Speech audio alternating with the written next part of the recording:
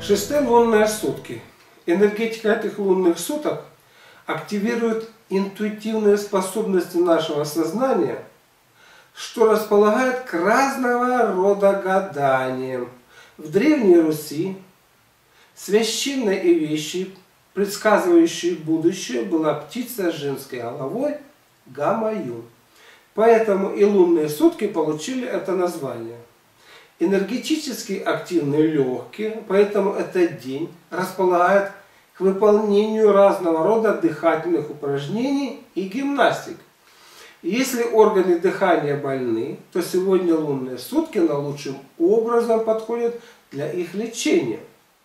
В этот день не переедайте, чтобы энергия, поступающая через легкие, не тратилась на пищеварение, а больше направлялась на обновление организма. Уединение молчания сегодня приветствуется.